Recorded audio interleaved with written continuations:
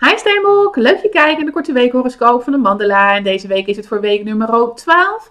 Dat is van maandag 20 maart tot en met zondag 26 maart.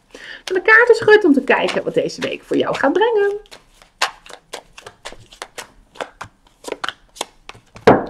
Dan lijkt het Steenbok alsof deze week een week is waarbij je in het begin even uh, voor jezelf niet helemaal helder hebt, wat is er nu eigenlijk gebeurd. Het kan zijn dat er wat verdriet is, het kan zijn dat er misschien ergens afscheid van wordt genomen.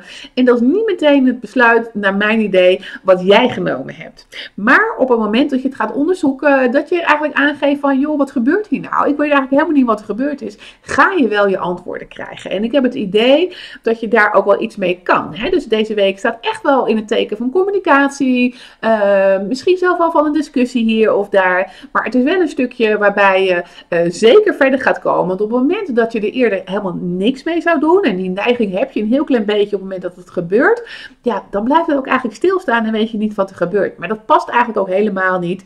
Dus je gaat ook echt dat gesprek aan en er komen mooie en fijne antwoorden waarmee je absoluut verder kan gaan.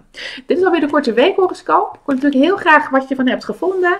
En ik wens je sowieso een super fijne week.